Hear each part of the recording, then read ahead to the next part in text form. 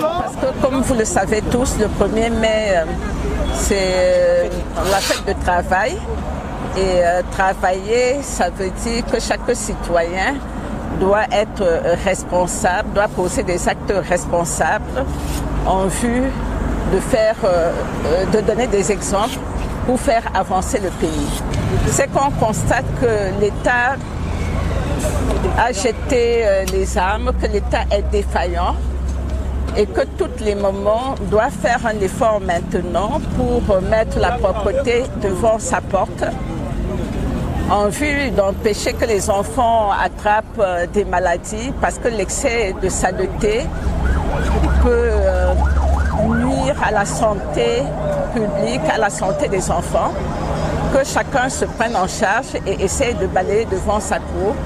pour maintenir la pauvreté. Je remercie infiniment les femmes de l'ECID qui se sont levées ce matin, qui sont là depuis l'aube pour euh, balayer devant l'ECID. C'est un message qu'elles ont adressé à toute la nation que vous faites quelque chose euh, pour votre pays, n'attendez plus euh, l'État, puisque l'État ne fait pas son travail, que chacune fasse un effort pour faire euh, un minimum de propriété devant sa cour.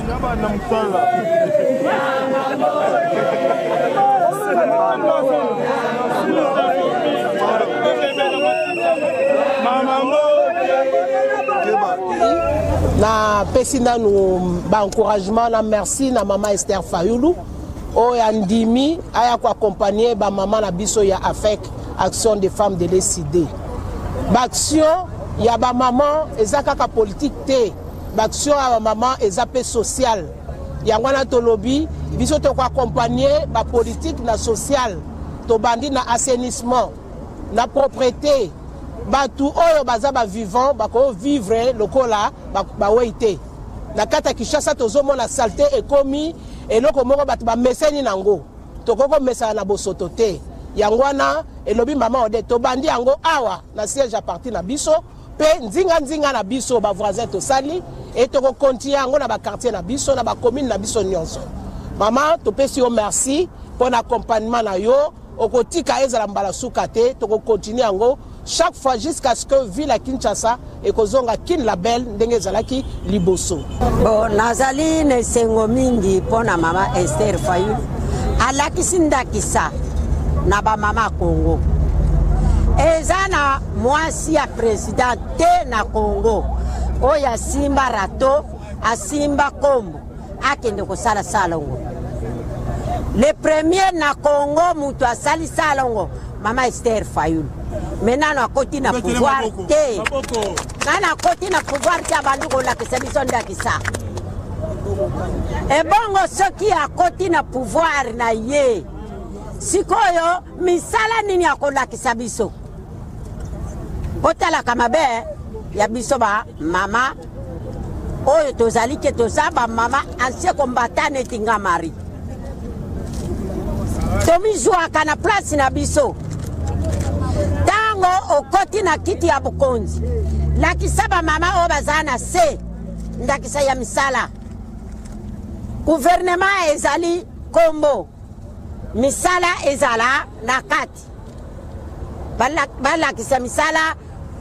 kosokola mboka ntango mosusu guverner azongi nsima yo mama leka liboso lakisa misala wana guverner mpo nini ozongi nsima ngai mama ya president nalakisi misala tia mituka elongolaka bafulu na tiangu mama tiangu telema na porte ya lupangu na yo na kati ya balabala leta Koluka leta te, leta biso akufa. Leta akufa. Leta yo moko ndenge ovandi na kati ya porte na yo. President oyo biso tovotaka lokola abimaka te mikolo nyonso bakundaka bakundaka yo moko leta Bima na balabala, longola bafulu. Tala bafulu oyo ezali na wenzi oyo ya bitabe ti na ngambo ya njili bolongola bafulu wana bino bamama bosalasala ngo sala ngo ebandi mama esere alakisi biso misala bozonga lisusu nsima te oyo nazalaki nango nde yango wana nayebisi bino bamama ntango le premier bamama ntango tokolakisa bango tokolongwa kuna na pascal tinji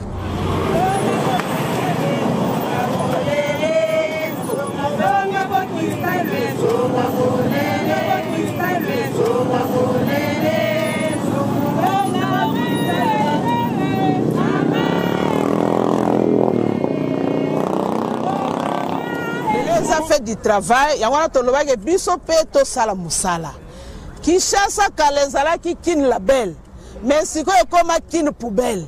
yango tomonake moyen ezala boye eza te toye kotya bopeto mpo mboka na biso ezala bopeto ndenge baloba on commence par jérusalem yango wana tobandi nano na siège ya parti na biso tolakisa exemple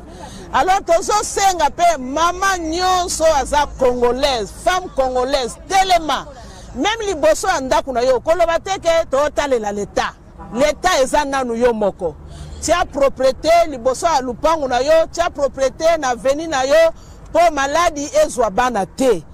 Po l'etat congolais, gouvernement congolais aza irresponsable. Ba avenues nyonso ebebi, salite partout. Yango tomoni ke soki totiki boye tozokobenda maladi biso moko. Esengeli biso moko